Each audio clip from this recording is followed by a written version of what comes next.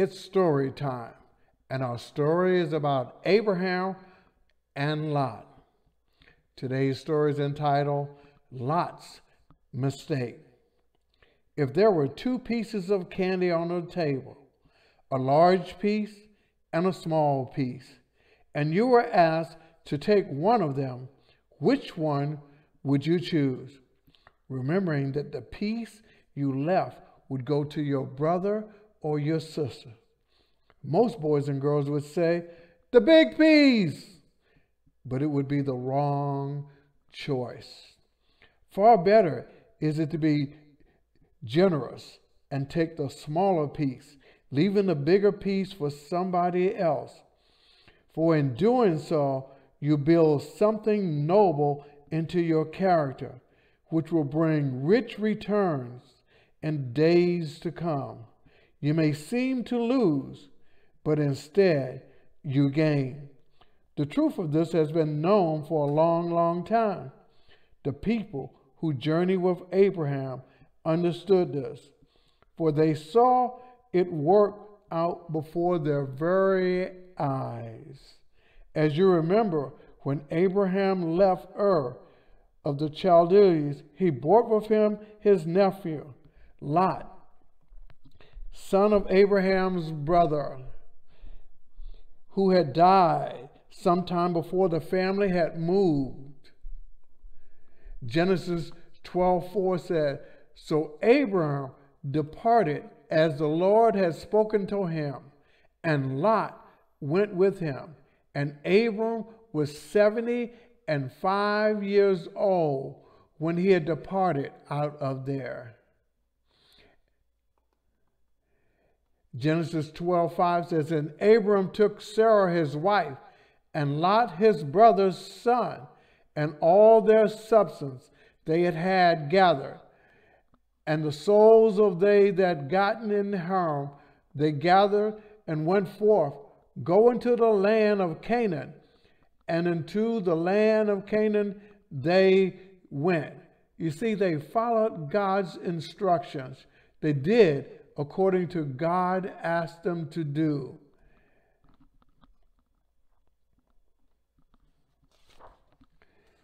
But Lot became selfish. Whatever the cause, he certainly knew how to look after his own interests. We have to avoid being selfish. However, it was not until after the great caravan had traveled all the way to Egypt and returned to Canaan that serious trouble broke out.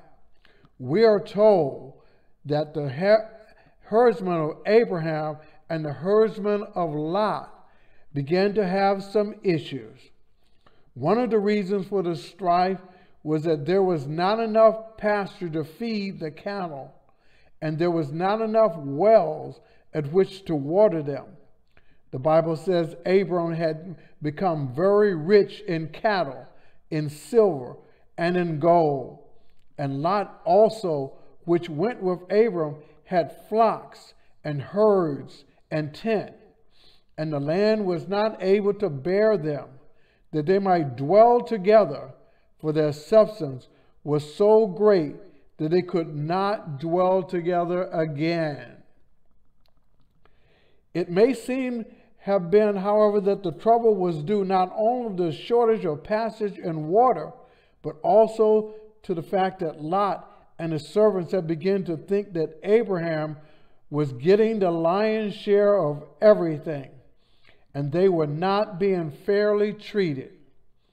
They forgotten that they were all Abraham's guests. As for Abraham, he was too noble to permit himself to be upset by anything so trivial. As soon as he had heard about the trouble, he sent for Lot and talked it all out with him.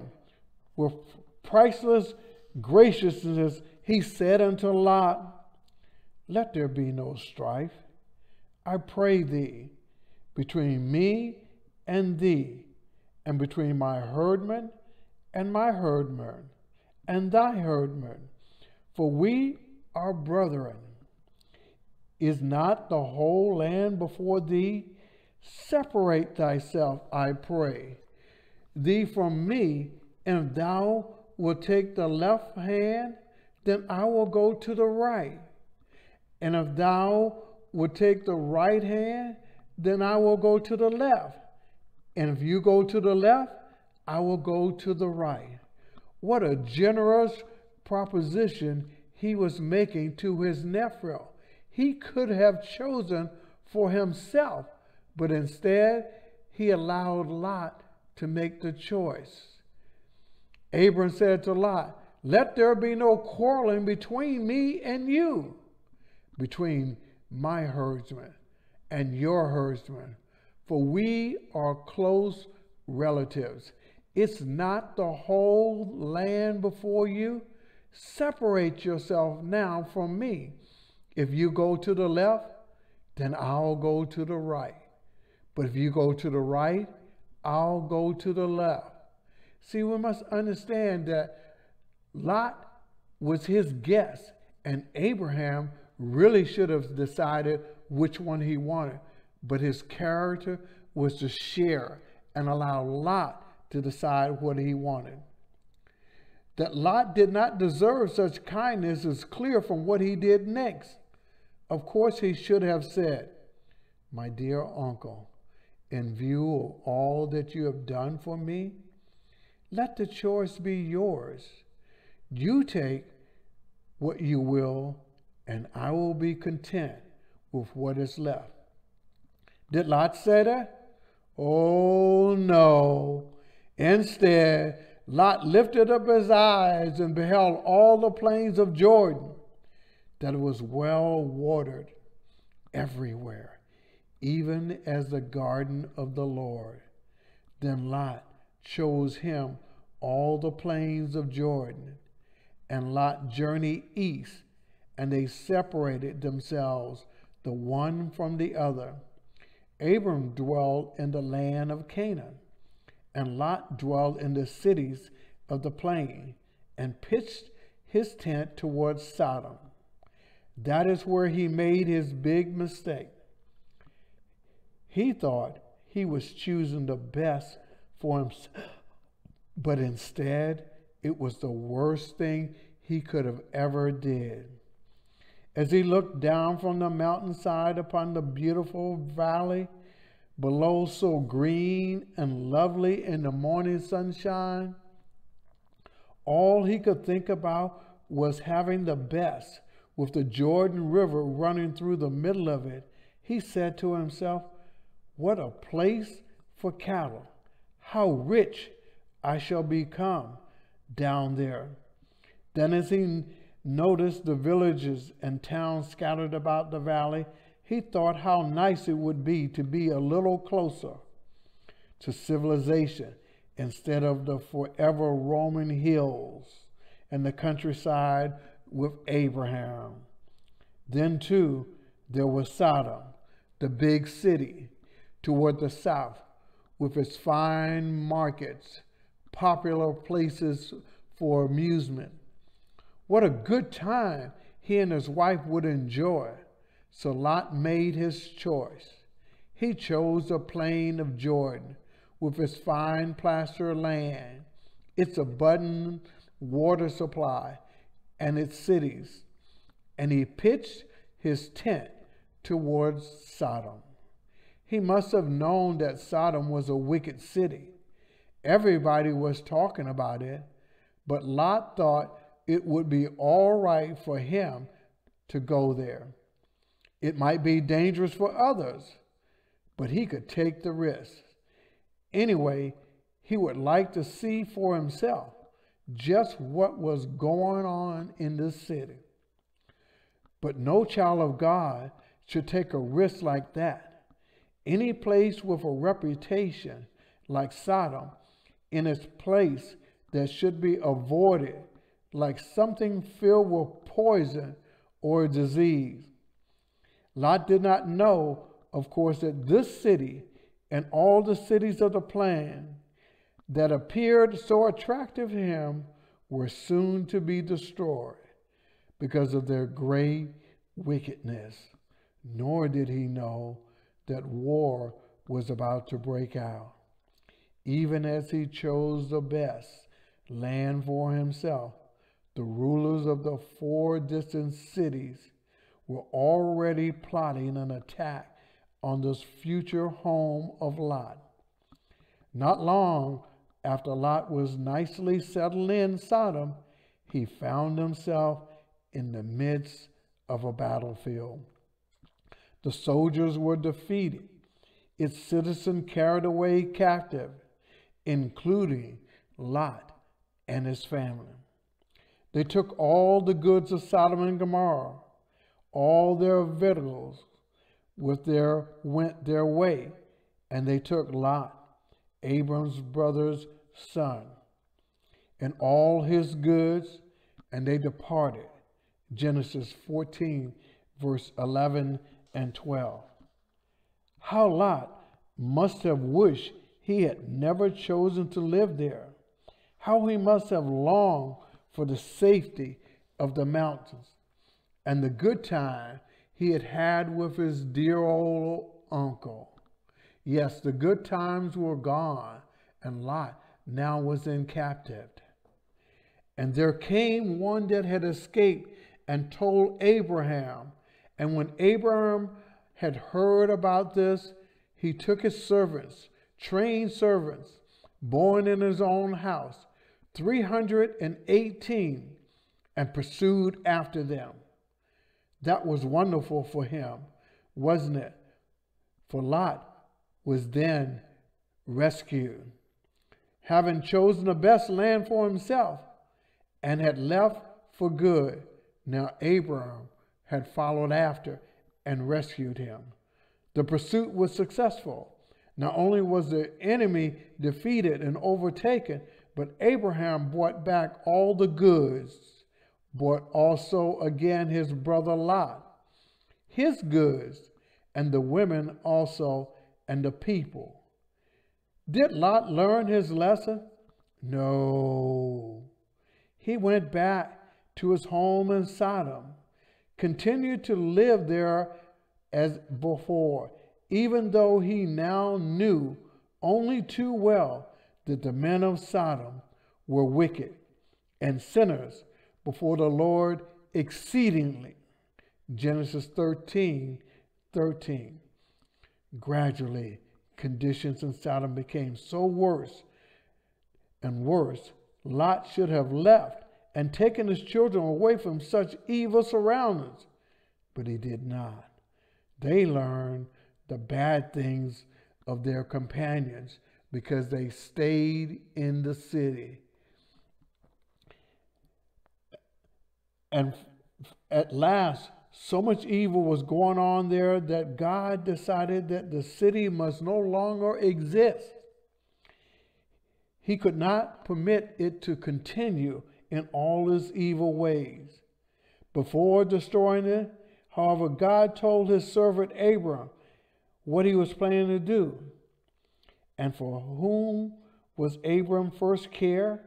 His nephew, of course what would become of Lot and his family? And Abram said to God, Will thou also destroy the righteous with the wicked? Peradventure, there be fifty righteous within the city. Wilt thou also destroy, not spare the place for the fifty righteous that are therein? Genesis 18, verses 23 and 24.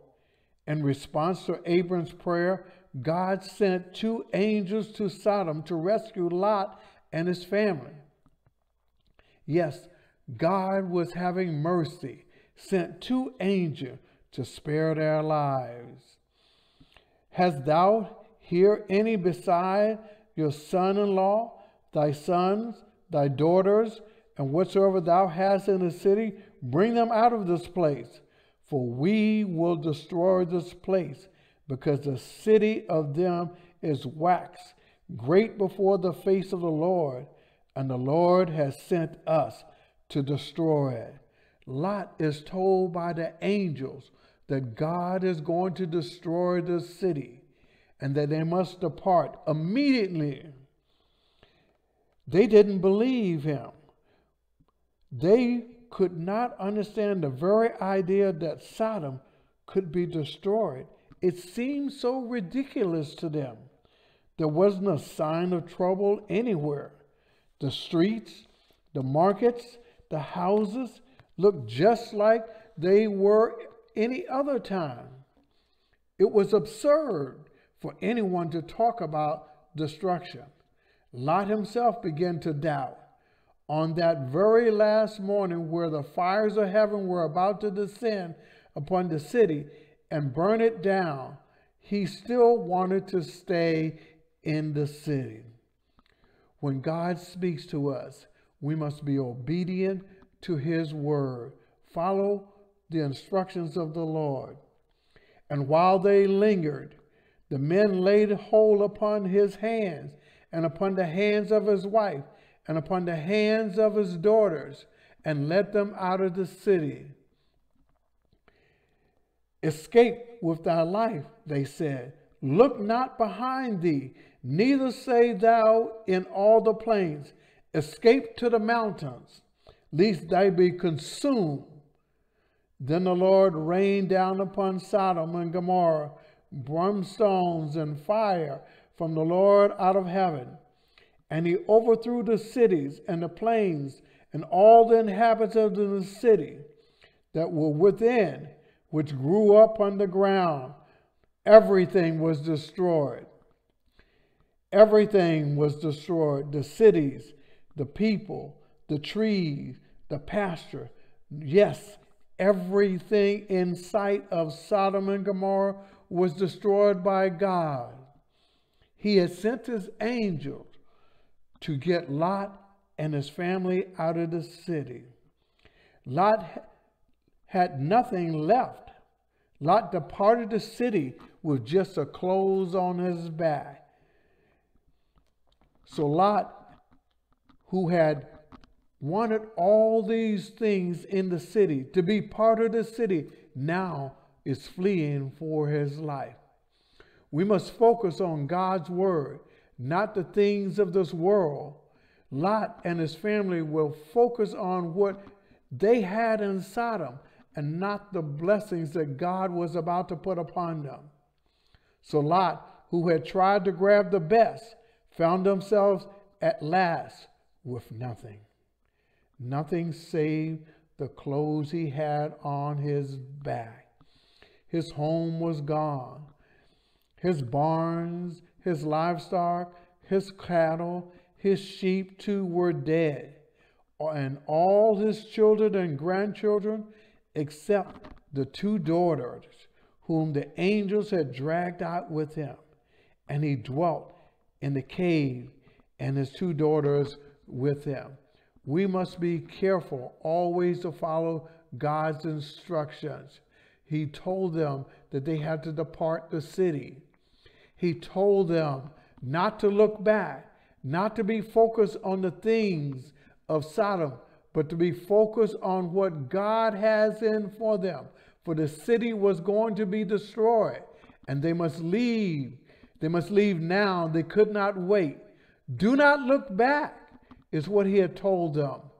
Do not look back. Yet instead, Lot's wife could not give up the city things. She had in her mind all the possessions that they had earned while they were there in the city. And guess what happened? She looked back, disobedient to what God had told her. And she turned into a pillar of salt. A pillar of salt a statue, lifeless. God had said, Do not look back. Flee with your very life into the mountains because I'm going to destroy the city. Do not look back. And yet, she looked back, and God rained down fire upon the city, destroying everything in there. Only Lot and his daughters, two daughters, were able to escape. And they escaped and moved into the mountains and later into the city of Zoar. It is so important that we understand from this story Do not focus on the things of this world, but on the Word of God. Be obedient to God. Follow His instruction. Everything that looks nice may not be what God entitles and what God has planned for you. So pay attention to His Word and be obedient. Put God first in your life.